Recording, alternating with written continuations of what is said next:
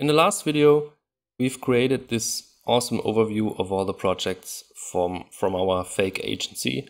And um, in this video, I want to show you how to build the pages for every project that we have. So right now, the projects are not really uh, displayed in a cool way because they only load the default template. And the default template is just a heading and a bit of text, so it doesn't really fit our projects. What I want to build in this video is um, a project page that has a two column layout with project information on the left, some text, a bit of additional information about the projects like the client, the link, um, maybe a category. And then on the right, I want to build a gallery with all the images for the project. Very traditional, but there's some cool stuff that I can show you with this kind of setup. The first thing we need to do is the same thing that we la did last time for the projects overview. We need to create a custom template for our project. And having a look at the temp at the content, you can see that we have a project subfolder, and then within the project subfolder, we have subfolders for all the projects and those projects have a project.txt. So that file name um, is crucial because it will be used by Kirby to decide um, which template to load. So we need to create a project.php template in order for, for Kirby to find a custom template for this kind of page type. You see we have already a few fake images in here which we can use to build the gallery and we also have a bit of fake data for our project, category, client, link, etc. So let's get started. First, we are going to head over to the template folder and in our template folder, um, let's use the default template and make a copy of that and call it project.php and now we are ready to go. As a first step, I want to wrap this thing into an article because this is what it feels like to me, like an article. Um, and for the two column layout, I need a bit of HTML. So I need a project layout div. And within that, I need a project info div. And I also need a project gallery div. So the layout will create the columns and then within there I can have a bit more control over what happens within those columns. So I put the text in the info div and we will put a bit more stuff in there in a second, but let's get started with the gallery first. Those of you who watched the other videos before, um, they are already familiar with the typical for each loops in lists that we used a couple times um, for the main menu and for the project's overview. And so far we have only used them for um, subpages or for, for pages in general. And now this time we will use the, use the same technique for an image gallery. So let's make a list and put in some links. And now we can create a, a, our gallery out of that by wrapping it in a for each loop. And within Ah, come on. So here is our for each loop. And so far what we did is something like this, right? So we, we used the sub pages of the page and then build a list of links. Um, but now we want to have the images and we can use the images method to do that. We could also use the files method to get all files, but that would also include spreadsheets and um, uh, whatever PowerPoint presentations or whatever you put into the folder. So um, by using the images method, instead we can make sure that only images will be included. And then we can call our variable image. And with that, we can do the same thing that we did before with pages. So we can create um, an absolute link to that image by using the URL method. And within the link tag or the link element, we can simply echo the image to let Kirby um, builds the image tag for us. If you need to apply a class name to that, or if you want to have more control over the image tag, the alt uh, attribute or anything else, you could also write it like this. And then put your custom alternative text here or create a class name on your own. So this is also possible, but if you don't really need that type of control, it's totally fine to just echo the image object and that will create the image for you. So by doing this, we can check out how it looks like. Go to the first page. So yeah, so we have a the text coming up front and then all the images listed below each other. They are pretty big, so they break our layout at this point. Doesn't really matter. We are going to fix that in a second. But from a technical perspective, we already solved what we wanted to do. So this is cool. One thing we can do to optimize it a bit in terms of the size of the images. So especially if you put like really big images into the, the project folders, we can resize it. I've shown this in the project video already, but maybe you haven't seen that so far. So we can do um, simple image manipulation right in the templates and Kirby will then resize or crop images for us and cache those resized versions. Um, so it will optimize the images for you in terms of the size. So in this case, the only optimization that we want to do or that I want to do is I want to make sure that the images are not wider than 1200 pixels and we can do this with the height as well so they are, they are not getting too big still pretty big but I think that's fine for such a big portfolio page and now they are cropped um, not cropped they are resized and they are a bit smaller and now we can work with them more easily in, in our CSS later. So that's cool. So as a, as a next step, what I want to do is I want to display uh, an information list um, with the client um, name, with the link, with the category below the texts. And we can easily do that by adding a definition list below that. And in the definition list, we are going to use um, a DT for client and then there comes the client name and then there would be what do we have? We have the category and we have a link. So that's cool. And now we can use our fields that we already created in the content so let's open a content file quickly and you can see the, fields here category client link those fields are available at least for the first project and let's use those in the same way that we used page title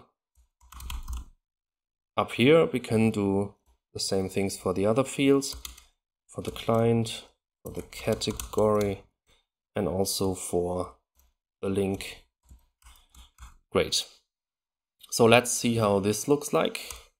So now we have our list, still looks pretty, pretty boring, but we are getting there. The information is there, and that's the most important part.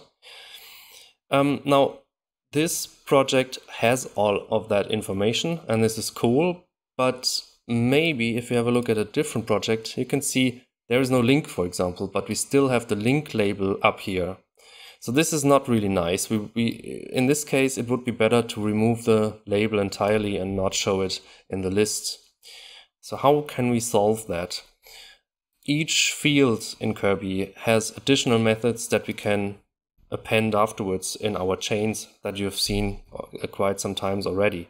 So for example, we could say we want to always want to uppercase the, the client name. This is something you can do, or you can say the client name should always be lowercased. So there are tons of methods that you can use with fields to manipulate them to yeah to shorten them to lowercase them stuff like this but you can also um, inspect them. And this is what we want to do for this particular case here, because we want to check out if the link is not empty. So we can create a little if clause and wrap this entire block in the if clause and say only if the link is not empty, this part of the HTML of this template is shown. And otherwise it will be ignored. So let's have a look and we already fixed this problem. I would suggest that we do the same thing for the category and also for the client because it could easily happen that we don't have this information as well. So I prefer to do this in such cases for all the information that we have. Um, this also makes sure that you never really run into problems when something is not there. And um, I, I, really like this. We don't really need for the text because the text does not have um, a special wrapping element. If there was a special wrapping element, wait, uh, let's put a wrapping element around it and then we can, you can get the idea. So once we have this, we would need to take care of this as well and only make sure that the wrapping element is included if the text is actually not empty. So you could also turn this around and say if it is empty, we do something else. So in this case, it doesn't make sense, but you get the idea. So there's is empty and is not empty because you can use both of them. So now we have a great setup, which is pretty stable, even if you don't have the information ready. Cool. So now it's up to um, design this. And I'm not going to spend too much time on it, but I want to spend a little time on it because there's a nice little trick that I can show you how to work with CSS for um, custom templates like this. Normally, what you could do is to put the CSS for the project page into your main CSS file. That would be totally fine and um, a good thing to do, especially if you want to minimize everything and just load one file. That's totally fine or totally um, best practice. But what I often feel like is um, another great way of handling this is to have a separate file for the template design. Um, what I mean by this is you have the, the main CSS file for all the, the site stuff that is shared across all the pages. And then for like more complex layouts like this, you would have an additional file that only serves the CSS for that particular layout. And we can do this quite easily in Kirby with a little trick um, by creating in our assets CSS folder, we are creating another subfolder and we call it templates. And in that templates folder, we can create a new file and we call that project CSS. So that structure, assets CSS templates, is something that Kirby um, expects from you from the start. Um, you can modify this in the config if you don't like it. But other than that, if you want to use this feature, you would also need to use this kind of um, folder layout for your um, CSS files. So what we can do if we have such a CSS file, um, let's do something really weird and load a back red background in here just to show you that it works we can go back into our header snippet. This is where we loaded the main CSS file for our site. And we can create a new line. And instead of giving it an absolute path or a relative path to a CSS file, we can add the magic auto word. Um, and that will mean that Kirby automatically looks if there is a CSS file for the current template. So it will check in the templates uh, assets CSS templates folder, is there a project.css? Because we are currently on the project template. And if it's there, um, it will create a link for it. And if it's not there, it will ignore it. So now we can have a look at it. And as you can see, now the site is red or the page is red because that, that additional CSS file is loaded. And if you go to the other pages, you can see they are still fine, so the red doesn't appear there. And this is really cool in my opinion, because now we can go into our project CSS and focus only on our project template and add some CSS for our project here. So let's do that. So we have our project layout div, and we are going to use the grid, the mighty, mighty grid, to create a little nice column layout So I remove the, back red, uh, the red background again, because that's just stupid. Um, so we need to design or to style our gallery a bit. Make sure that the images don't overflow what we have.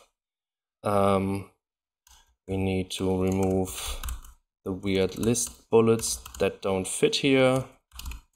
List style none. What? Ah, it's in the URL.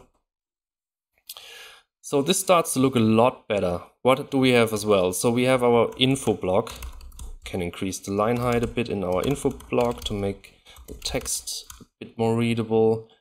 We have our project text and we can put a bit of margin below it so it does have a bit of separation between the info block and then the info block. We can make that DTs bold and that looks a bit nicer as well. And now we need to style the gallery and then we are pretty much done for for the for today so for the gallery what I want to do is also use the mighty grid. Uh, doesn't do anything. And I want to use a four column grid. Template columns. So four columns. They should all have the same width. So that starts to look cool. I want the items to be centered so they align nicely we need a bit of grid gap yeah, that's cool. And now I want to feature the first one. Let's just pretend the first one is the most important one. And let's do that by spanning the grid columns in the first um, child, in the first item. Um, grid column start would be 1 and the it ends on the last column which is always minus 1 so we have a nice gallery with just a few lines of CSS. The first one is featured, the, the, uh, the other ones are below it. Um, you can click on the images, you get to the big ones. Um, this could easily be enhanced with a nice lightbox, uh, JavaScript lightbox or CSS lightbox or whatever you have in your pockets when you build your favorite sites. Um, I'm not going to go into such details. I think it would be a better way to keep this open for, for whatever you like, the, the most favorite libraries that you use. So yeah, but now we have a really nice looking project page um, that we can extend. We can have more fields. We could um, now build a proper link out of this. We could add some navigation between the projects. Um, yeah, all of this could follow in, in more videos. Thank you very much for watching. See you in the next one. Bye bye.